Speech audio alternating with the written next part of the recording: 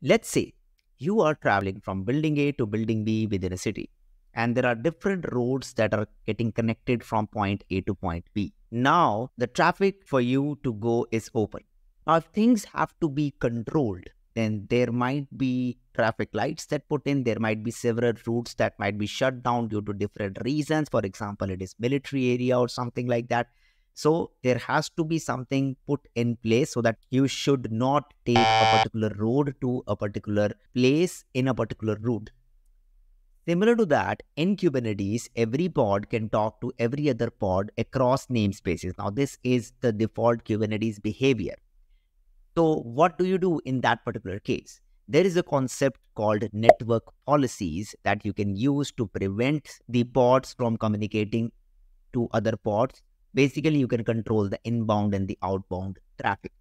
In this particular video, we'll be discussing about network policies and we'll get to advanced examples of HTTP as well. Now, network policies can be a bit hard to understand, but what we are going to do in this particular video is we'll be trying to do hands-on with different scenarios so that we can understand it better and how we can prevent the traffic from flowing from any pod to any other pod in general, there should be a way where you want one of your application to be getting the traffic from a particular CIDR range or pods or things like that.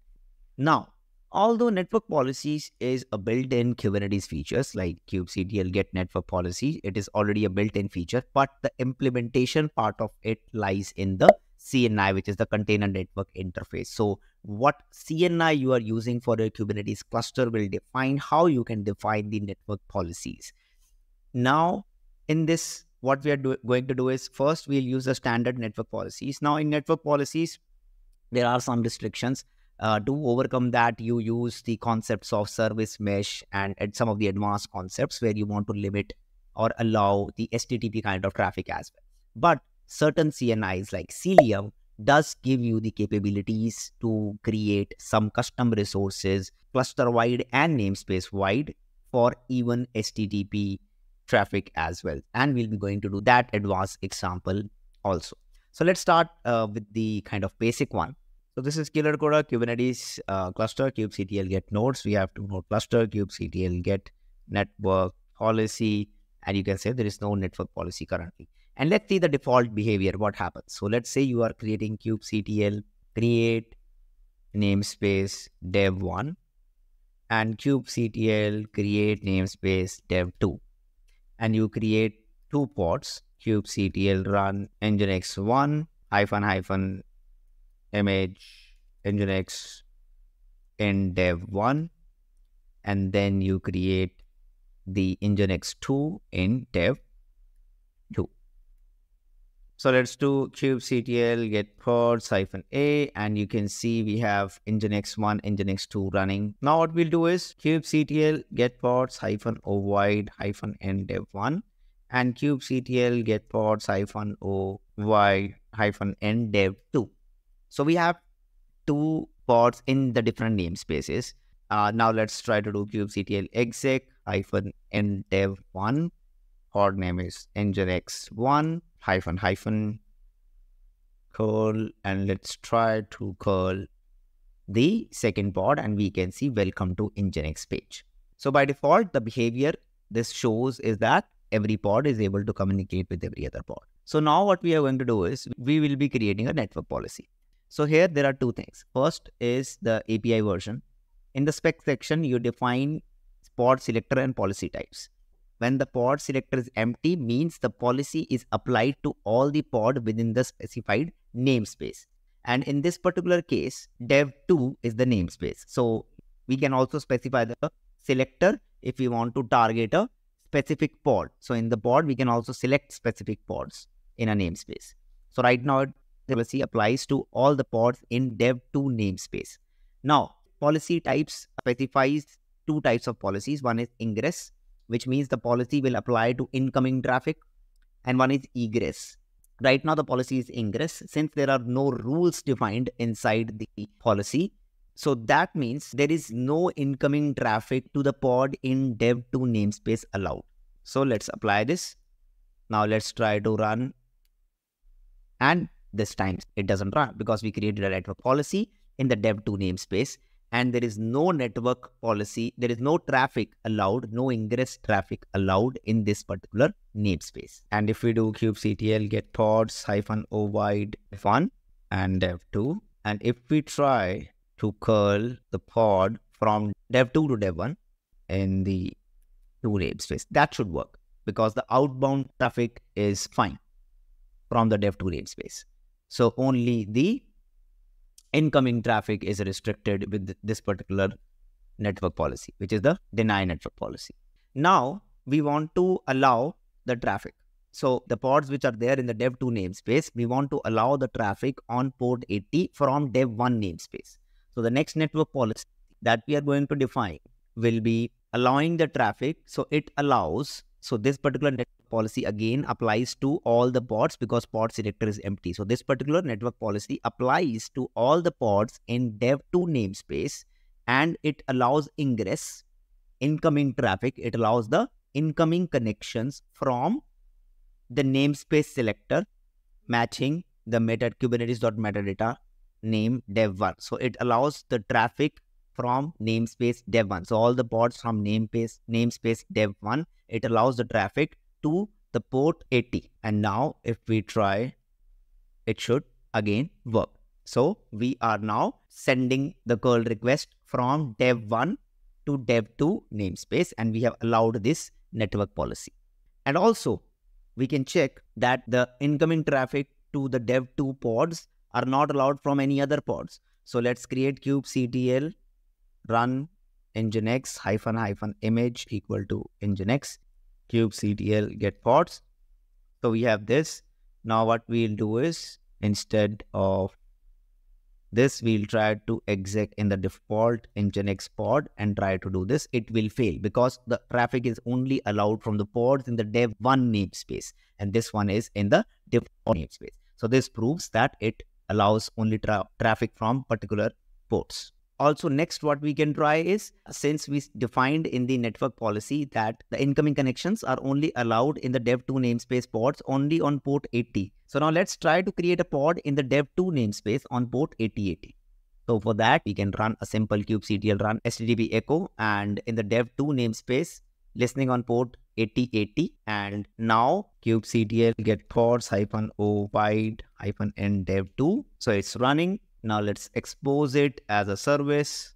kubectl expose pod hyphen hyphen port 8080 kubectl get svc hyphen n dev 2 and now let's try kubectl exec to this nginx1 and we can see it is timing out because even though the pod is in dev2 namespace but the port that we are trying to connect is on 8080 and we have allowed in the network policy that only port 80 traffic is allowed to receive the incoming traffic.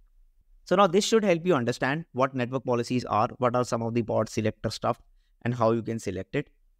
Now let's try to understand and go even dip deep further because I want to showcase one advanced network policy. But before that, uh, I want to show you one thing which is called the editor.networkpolicy.io.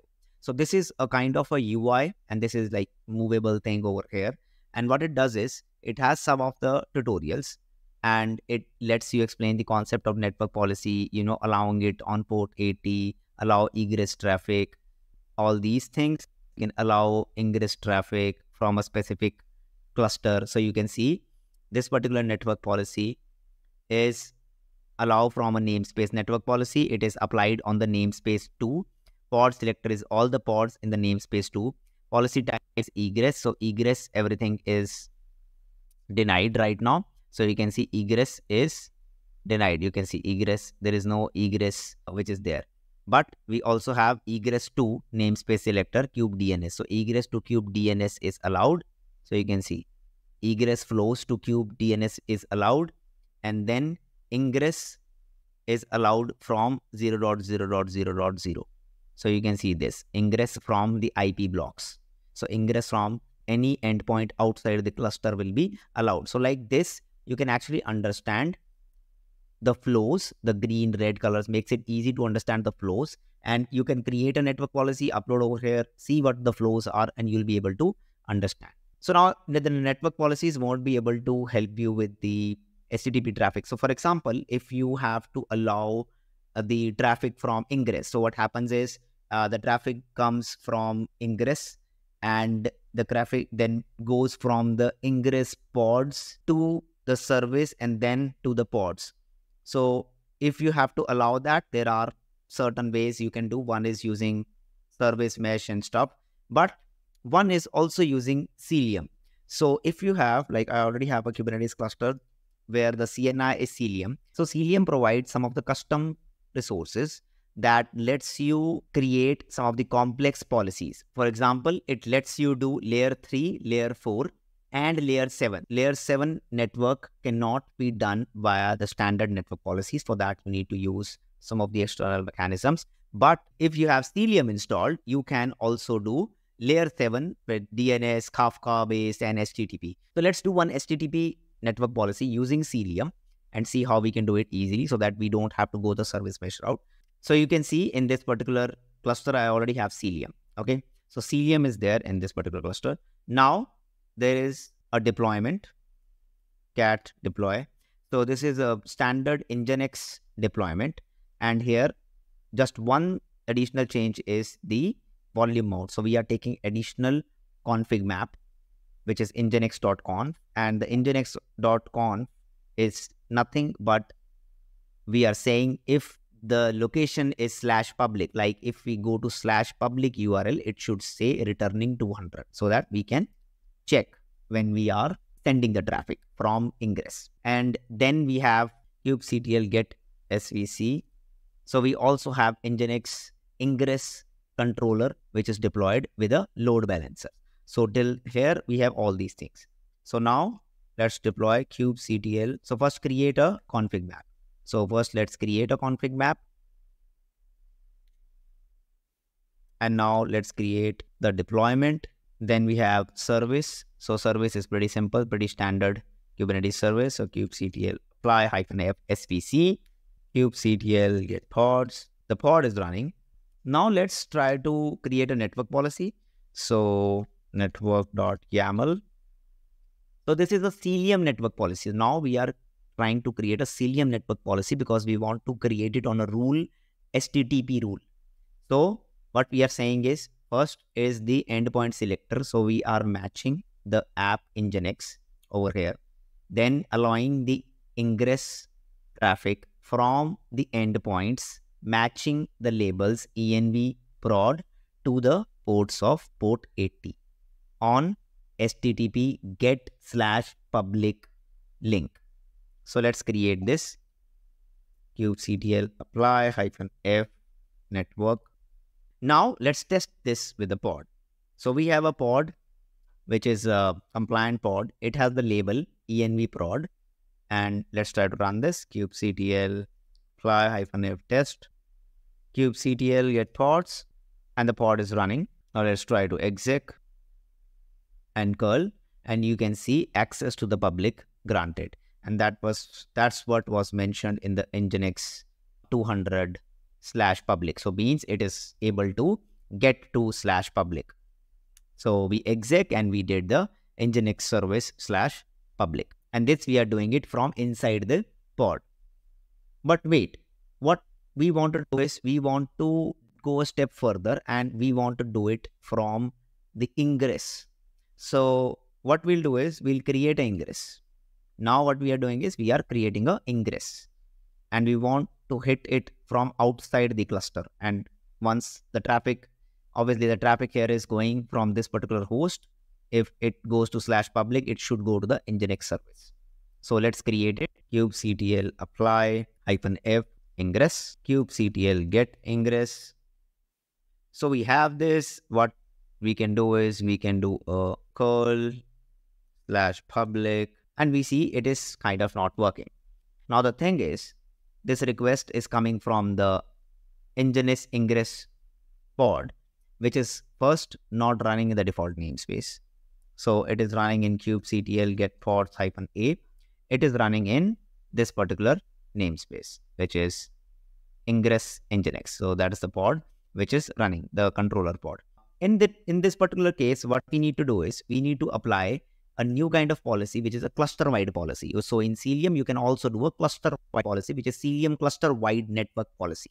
And here, if the env is prod rest all stuff is same, but the policy is cluster-wide. So let's apply this kubectl apply, and we'll delete the previous one, kubectl delete hyphen f network, kubectl apply hyphen f np, because the name is same, that's why. We have to label the pod env prod. So kubectl label pod hyphen n ingress nginx env prod. So it already has kubectl get pod hyphen n ingress nginx hyphen hyphen show labels. So we can see env prod is there. Now let's try to run it. And we see access to public granted. So this is how you can do one of the complex scenarios of HTTP using Cilium network policy. So I showed you the basics of network policy, some of the basic examples, one complex example from allowing the traffic from one particular namespace to other particular namespace on a specific pod, and then how you do it from one particular namespace in one particular namespace using Cilium on HTTP, and then cluster wide so that you, your ingress works in the cluster-wide network policy for Cilium. So I hope you get a gist of what network policy is. I think the, with the combination, so one of the best things that you can do is have Cilium as the CNI that you're using for your Kubernetes cluster. If not, then you have to go for service mesh if you have to do the layer 7 network policies. So, so if you are using Cilium, then also you can use the layer 3 and layer 4 with the default network policies and if you want to do layer 7 and you have Cilium, then use Cilium network policies. You actually can do Cilium network policy for layer 3 and layer 4 as well. There is extensive documentation and example on the Cilium docs. So that was it about network policies. It is a native Kubernetes resource, but it its implementation is dependent on the CNI that you have with your Kubernetes cluster. So I have shown you the examples of Killercoda that was having Calico at the time of the recording and then a Kubernetes cluster with Cilium, where we were able to create a layer 7 Cilium network policy and the Cilium cluster wide network policy as well to allow the traffic to a pod from uh, ingress controller. So that's how you can do some of the advanced stuff. Let me know in the comments how you use network policies. And if you like the video, then please uh, do not forget to like, share, subscribe, and share the network policy information with your friends. Thank you so much for watching and see you in the next one.